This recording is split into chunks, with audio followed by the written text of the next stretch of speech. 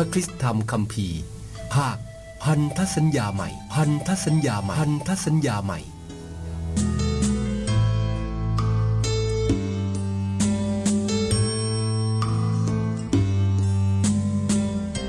บทอ่านจากพระวรสารนักบุญยอนบทที่ห้าข้อที่ 31 ถึงข้อที่ 47 เวลานั้น พระเยซูเจ้าตรัสกับชาวยิวว่า ถ้าเรา เป็นพยานยืนยันให้ตนเองคำยืนยันของเราก็ใช้ไม่ได้ แต่ยังมีอีกผู้หนึ่งที่เป็นพยานยืนยันให้เรา และเรารู้ว่าคำยืนยันของเขาถึงเรานั้นเป็นความจริง ท่านทั้งหลาย ได้ส่งคนไปถามยอน และยอนก็เป็นพยานยืนยันถึงความจริง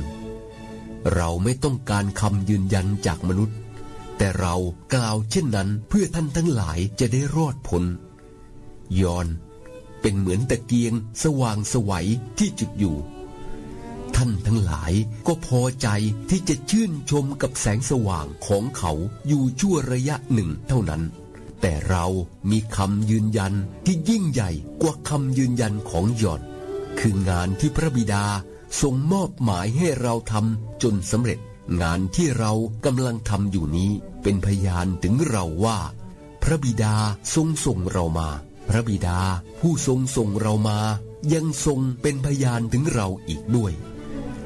ท่านทั้งหลาย ไม่เคยได้ยินพระสุรเสียงของพระองค์ ทั้งไม่เคยเห็นพระพักของพระองค์